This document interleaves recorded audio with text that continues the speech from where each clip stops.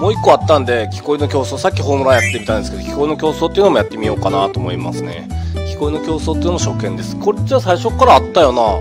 なんかホームラン王って途中から出てきたっけ？うわ、なんかシンプルでいいね。スタート。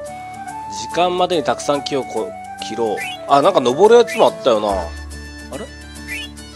毛虫やご注意。あ、かわして、この他の木に飛んでいく。ちゃんと読めなかったんですけど、こうやって対戦すると面白い感じなんでしょうね。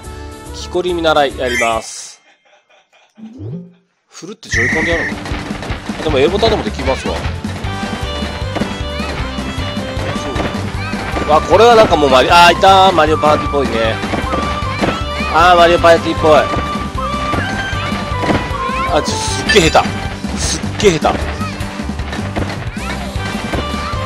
これなんか123とか数えておくと楽かもしれんなすげえ下手やった俺やべ3や。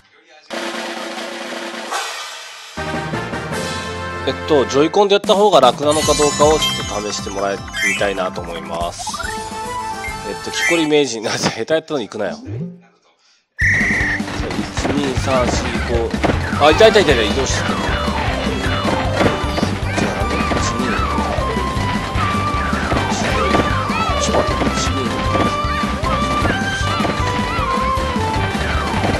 なんか思ったのと数え方が1個違う。そう当たり前ね。1個減っちゃうとダメなんだ。俺下手やわ。下手やわ俺これこのゲーム俺。あケツやん3や。下手やなこのゲーム。でもっと早く切れたりするんかな。あと敵のこと全然見えてない。間違えたえっと、あのー、ジョイコンを振ったらどうなるんかっていうのをちょっとやってみたいなと思いますけどね。木こり千人。あ、なんもなら。早っ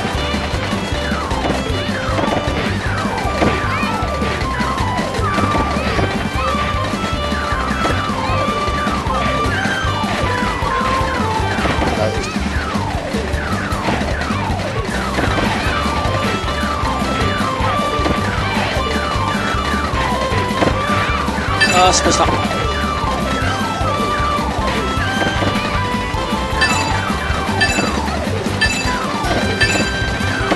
あー下手。あー下手。今度こそケツや。下手やわ。下手やわ。全然柱しかできてないんが家が。はい。ということことでした。じゃあちょっとストーリーでも進めていきたいなと思います。